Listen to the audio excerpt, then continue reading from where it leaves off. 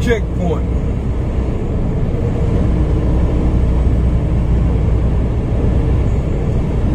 I had a pretty eventful week so far.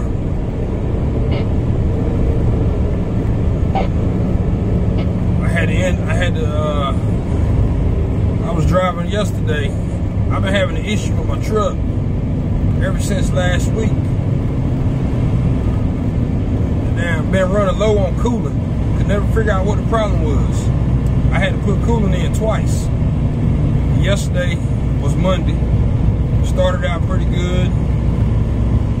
Checked, I checked it that morning before I left. Drove up to Virginia. Got up, got up right outside uh, Chesapeake. I was headed to uh, Newport News to get this load I got now. And I, I got a warning on my dash said, low coolant, stop engine. I'm like, fuck, I ain't had no coolant. I had to pull up and put some water in it. So I put some water in it. Then I got the load, took it back home. I checked it, I checked the load this, well, I checked the coolant this morning. Well, I actually checked it when I got home. When I got to the truck stop that night, before I, not the truck stop I parked at home, I stopped at a pilot. Hey, look, y'all see this? All the cars got to pull in there. Man, that's crazy. But you know what, though? It, it's, it's a lot faster. A lot faster than I thought. Yeah, all the cars had to pull in there. The trucks got my bags. yeah, I got I stopped at the pilot last night and I uh I lit the truck. I went inside the truck stop, stayed in there about 10 minutes. I came back out. When I came back out, I seen the fluid. I seen the I seen the fluid dripping, dripping down. So I, but I couldn't pinpoint where it was leaking at. But the pilot, the pilot I was at, they got a shop, but uh man, I wish I could see everything out there. They got tents and everything. Damn. Yeah, I I went and uh, parked where I park park at to go home. Where I go home, cause I went home last night. Got got back to the truck this morning, cause the pilot I was at, they got a shop, but they're not 24 hours. And it ain't even like a real pilot shop. It's just like a mom and pop. It's a Sattlers, but they got a mechanic shop. So uh, I couldn't I couldn't go to them because they ain't had nothing. They weren't even open. It was past five o'clock. So I said, you know what? I got a got a, a Petro on 95 in South Carolina. Now it's in Florence. It was 102 miles from me. So I got up early this morning. Whatever my 10 hour break was up, it was up like 4:30. Probably like 4:30. It was up. It, matter of fact, it was up 5:10. Woo! But I got up at 4:30. That's why I'm yawning right now. Got up at 4.30. 10 hour break was up 5.10. So I went to the truck, put some more water in it. My buddy told me, I, I was gonna put antifreeze in it. But, but my buddy was my, one of my, matter of fact, my buddy Chris, Chris Lockhart, 806 trucker. I called him and he was like, yeah, man, you might well put some water in it because they're to drain the antifreeze out anyway. So I was like, yeah, that makes sense. So we're gonna need to put the antifreeze in there. So I put some water in it, put about a gallon of water. It was enough to get me down to South Carolina. Give it to the give it to the Petro. I got to the Petro 745. And this Petro's supposed to be 24 hours. I looked at it on the website too last night before I even left. They were 24 hours. And I was looking at the at the stuff that that shop could do. And one of the things they had it up was like that was like a certified Freightliner service shop. Like they could diagnose coolant leaks and stuff like that. Like they keep Freightliner parts in stock. So I was like, I knew, I was like, yeah, this, it said 24 hours. I got there this morning, 7.45. The guy, the guy signed, he signed me up, signed me in everything. He was like, he was like, yeah, we don't start taking trucks in until 8 o'clock, so you gotta wait about 15 minutes. I was like, I ain't no biggie. They had one truck in front of me. They got like three, they got three bays at this shop now. If y'all ever go to that Petro on 95, it's in Florence. Yeah, they got down three three bays. They had one truck had to get a DOT inspection. and they had they put me in bay two. Man, these guys, man, they pulled me in the bay. I sat there for about 45 minutes before the guy even came over there and looked at it. And he was like, uh, you, know where it's leaking at? I was like, nah, that's why that's why I came up here. I don't know where it's leaking at. I just know it's leaking. So he came, looked at it, did what he did what he put his little pressure system on it, did what he had to do. Then um, he came and told me it was the water pump. He was like, we're just waiting on P&S to uh, give it the okay. I'm like, all right. So P&S, as soon as he told me that, P&S called me like 10 minutes later. It was like telling me what exactly what the problem was and everything, how much it was gonna cost. And I was like, all right, I was like, yeah, like, like I have a choice. Like, yeah, I gotta do it.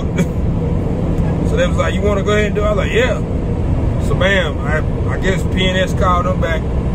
About another hour go by. Now, now keep in mind, I'm saying these, these, these time frames, these mechanics ain't doing nothing but standing around in the shop smoking cigarettes. That's all they're doing. Standing in there smoking cigarettes, just chilling. Ain't doing nothing. So yeah, they came back over there, took took the old water pump off. Guy took it off. About three more mechanics, they come over there, look at it. Everybody want to pick it up, look at it. They looking at it, laughing, smoking cigarettes.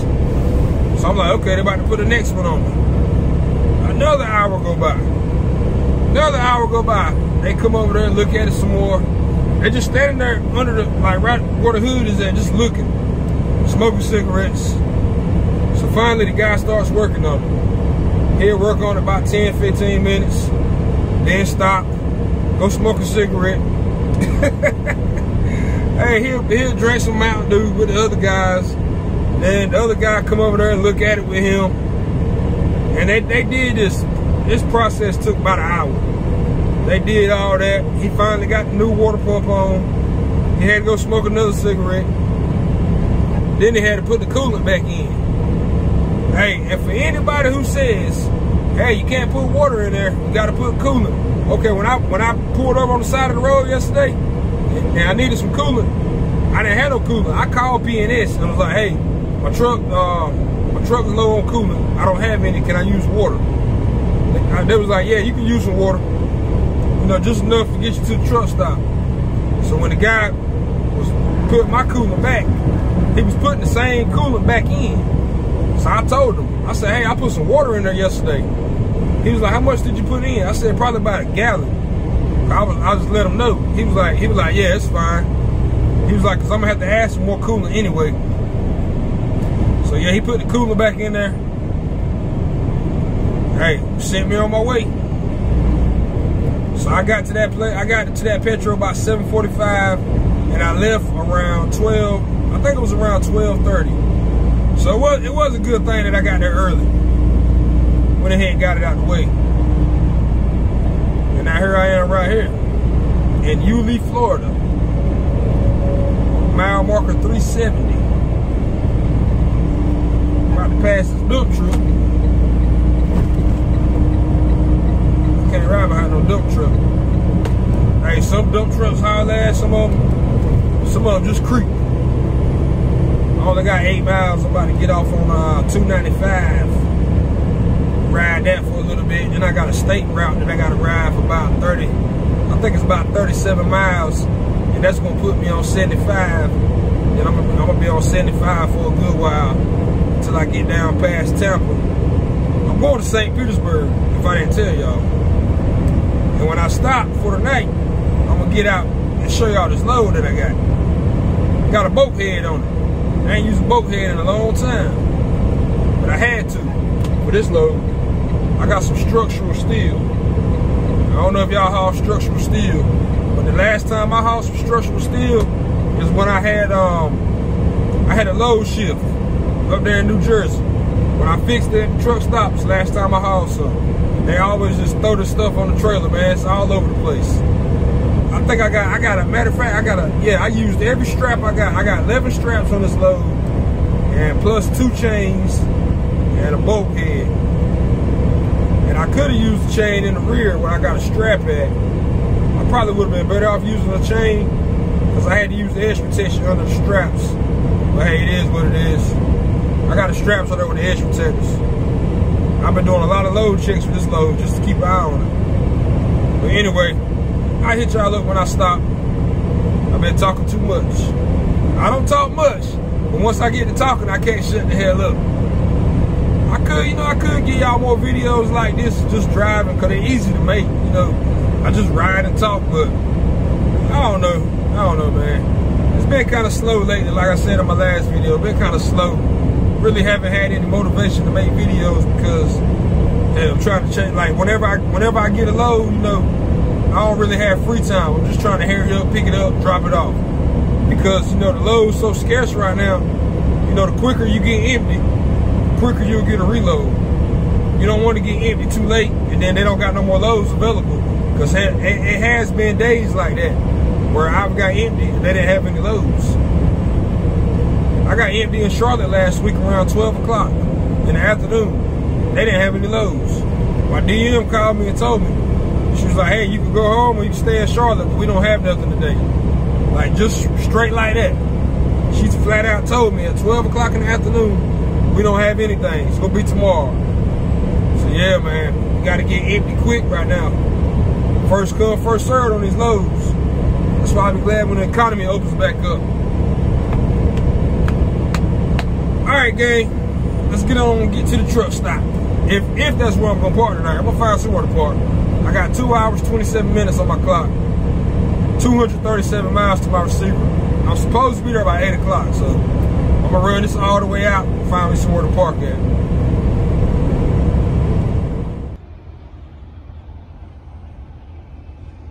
So this is where I'm taking my 10 hour break at. Beautiful Florida. Disgusting. Are these palm trees? I don't know. What are those things? Let me show y'all this bulkhead, man. Reason I got it up here. I'm not I'm not sure. I, th I think that one little piece up there might might have moved forward.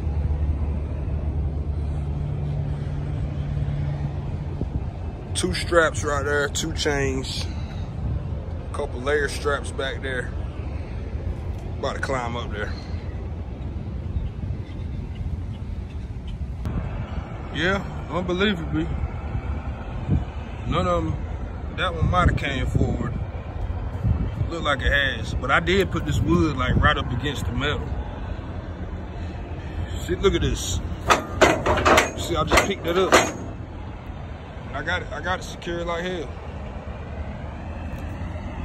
This piece looks like no, that one, that one ain't moving. That one ain't moving. This one like it'll move. That one move. That oh, right there definitely will move. But it ain't gonna break through that bulkhead. If I didn't have that bulkhead up there, that shit'll come right off the damn front. Got layer straps on that stuff back there. See my tarps way back there. I got some metal in that bag. We only got we only got 125 miles before we uh drop this load off in the morning. My brand new red airline, brand new shiny red. That's why it's so shiny. Brand new ratchet straps that I just got. Still got the tag on them. Had to get some new ones. Same old bungees, same old.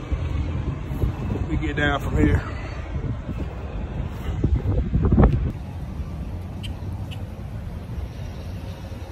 Look at that beautiful, beautiful sunset. I got a front row seat. So a beautiful Florida sunset.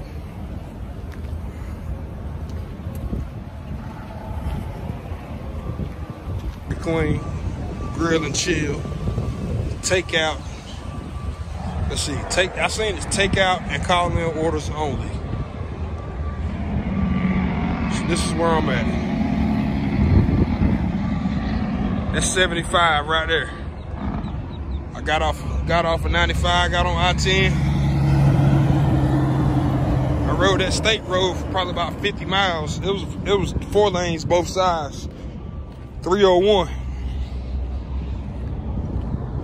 Got two pallets down there across across the bridge. Got two more got two pallets. But this where I'm going. To the Loves. I could have parked over here. Pull up right there, back straight in. It's a good spot, good spot to park.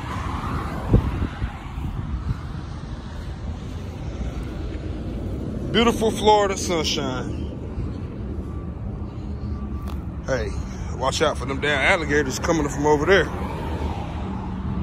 Yeah, I was gonna park at this Love's, but man, they had so many down, so many trucks over there.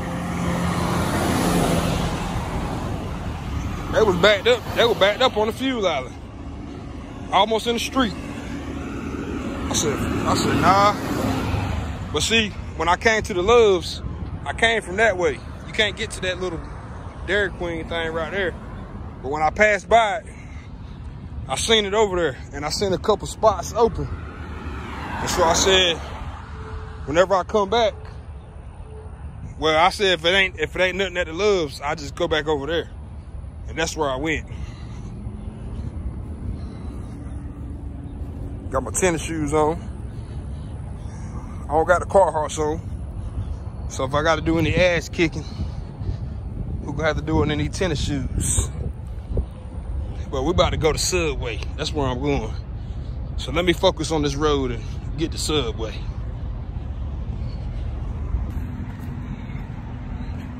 Hey, we made it. Hey, something else I forgot to mention a while ago, man. There's a lot of homeless people in Florida. There's a lot of them. I guess because of the sunshine, they come out here and take it easy.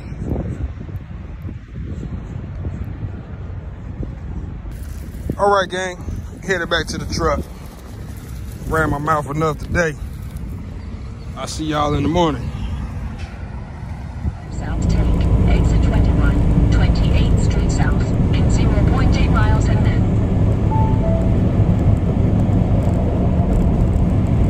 Wakey, wakey.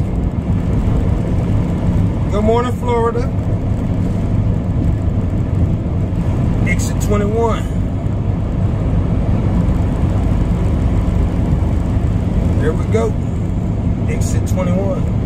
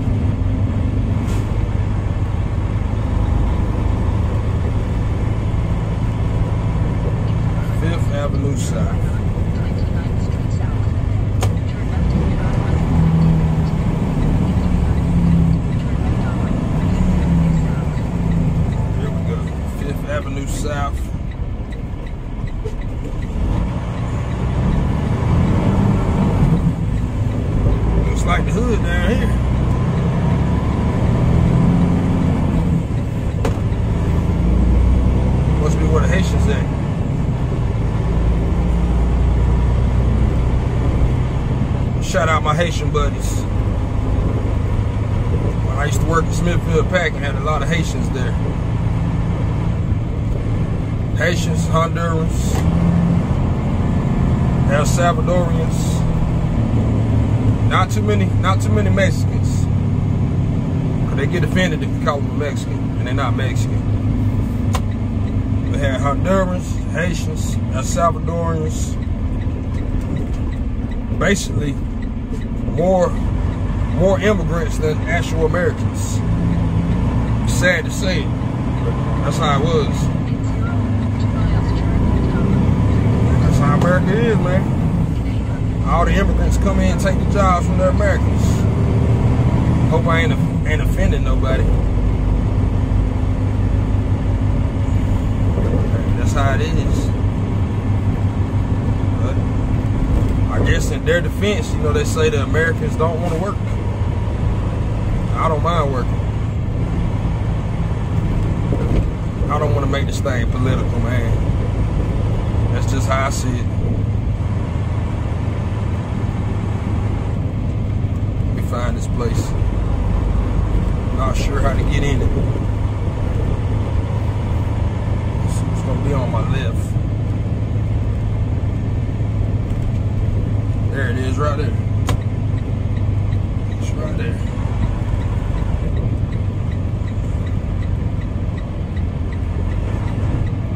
no outlets.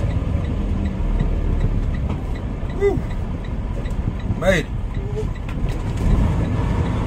Structural steel, miscellaneous steel. Let's figure out how we're going, where we're gonna. I see another truck down there. We here, gang. We're here.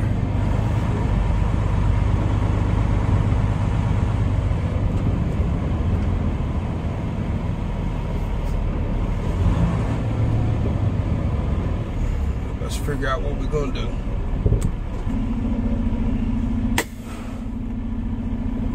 Did my bulkhead do its job? One little piece like it might have came came forward.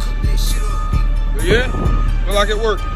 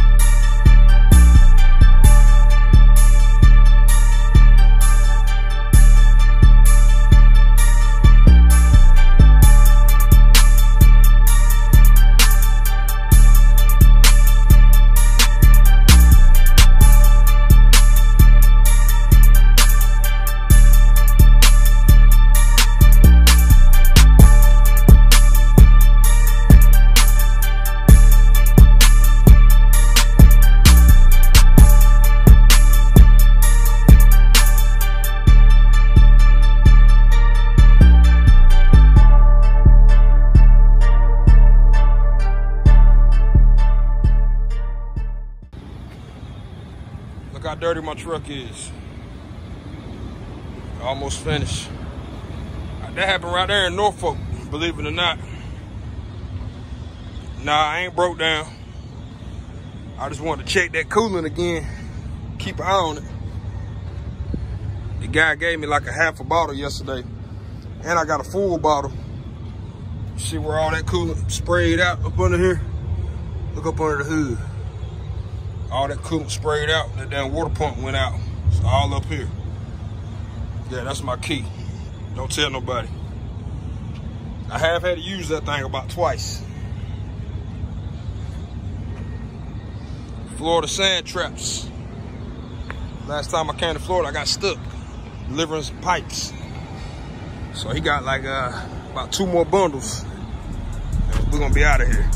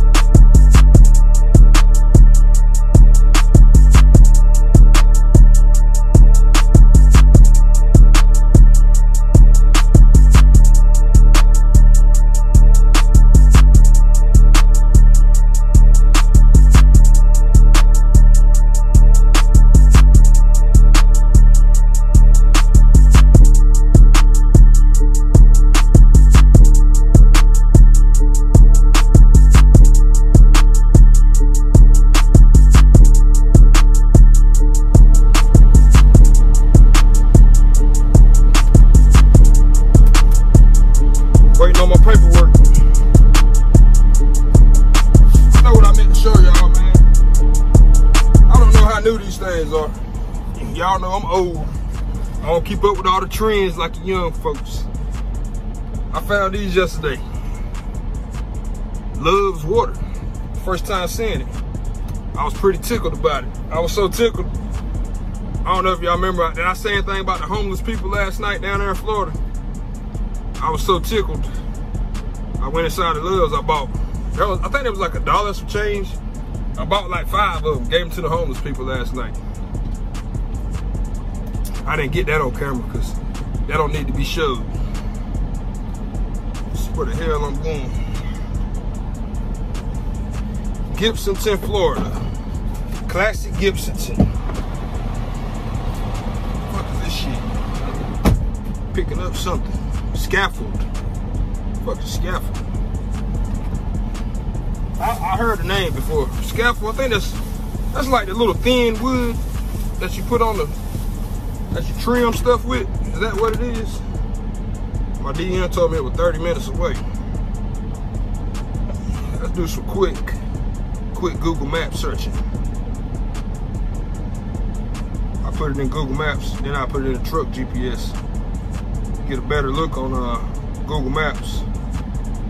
13031 W Y Wyandotte Road Gibsonton, Florida. 40 minute, 40 minute drive. Oh, okay, it's just, oh man, just riding 275 back around, all the way around, back around Tampa. That's all I'm doing. Going right back through Tampa. My damn truck GPS was fucking tripping when I was, uh, when I was going through Tampa earlier. Classic. Damn directions. They don't give me no, they ain't give me no directions. I got the got the directions for the receiver, but not the damn, not the shipper. All right, appreciate it, man. That's what I was waiting on, my paperwork. What's hot down here? 92 degrees. Shipping ticket page three of three. So I mean I gotta scan all three of these pages.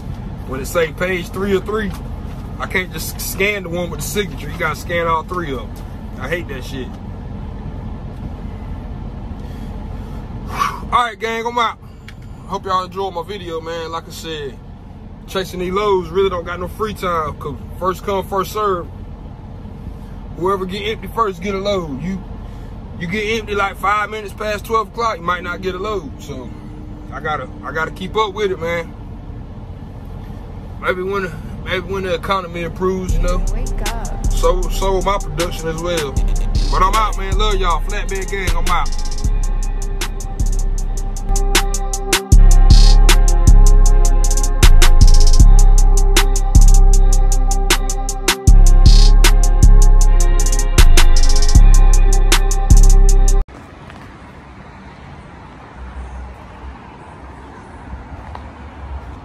Before I take the securement off, I'll show y'all this load I got. I picked this up yesterday after I got empty. I didn't make a video for it because I ain't had time. This is what I got. See, I'm, I'm already in North Carolina now about to drop it off. But I got this yesterday, man. Just wanted to show y'all real quick. It was a hell of a securement job, I tell you that.